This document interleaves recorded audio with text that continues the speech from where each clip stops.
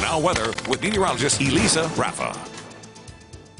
Good morning and thanks for joining us. We are starting out with dry conditions across the Ozarks this morning and a couple of clouds.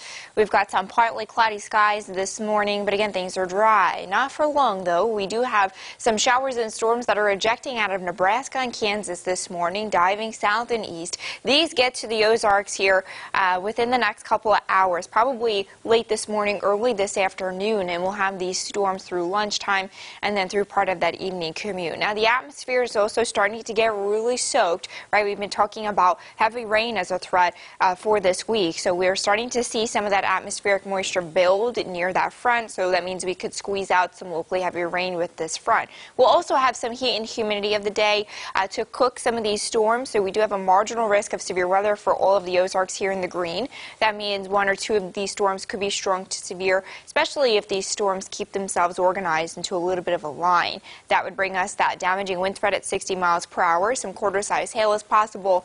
And then again, we do have that localized flooding threat. So hour by hour, we're looking at these storms getting here probably around noonish. Then we'll have these showers and storms through the lunchtime hour, and we'll keep them continuing to dive south through that evening commute.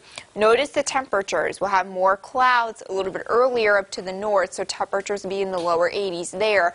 More sunshine later in the day to the south. You have a better shot at getting to 90 degrees there. So big difference in temperatures across the Ozarks. Uh, Springfield splits the difference with some middle 80s. Couple of storms through the evening and overnight hours, and then we set up that train. Waves of showers and thunder through tomorrow. You could see by the deep reds and oranges and yellows here on the map that that would include some locally heavy rain.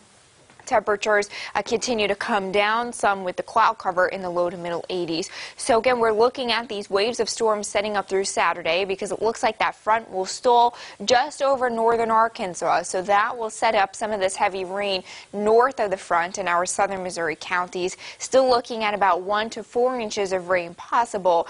Getting a closer look at these totals, you can see that one to three inch spread, especially in our southern Missouri counties. Now we're probably going to to need a flash flood watch to be issued. The Weather Service is waiting to see where these storms wind up today uh, to see where to put that watch. So we'll have to keep an eye out for that. But those elevated flood threats are there as we head through Saturday. So round one brings heavy rain, gusty winds, and lightning today. We'll have the heaviest rain Thursday and Friday with some efficient rain rates and localized flooding concerns. One to four inches of rain possible there. We start drying out Sunday with isolated storms possible. 86 today, showers and storms work from moving in, 71 overnight with scattered showers and storms, 84 tomorrow, more rounds of rain and thunder.